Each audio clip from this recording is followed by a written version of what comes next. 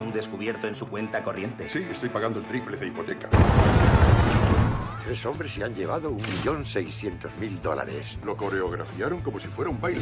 Una conga directa a la cárcel.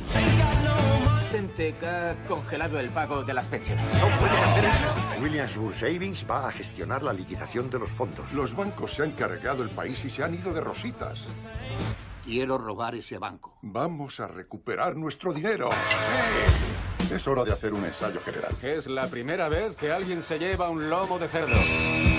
No sé dónde vamos a ir a parar. Mira lo que le ha hecho a Cindy.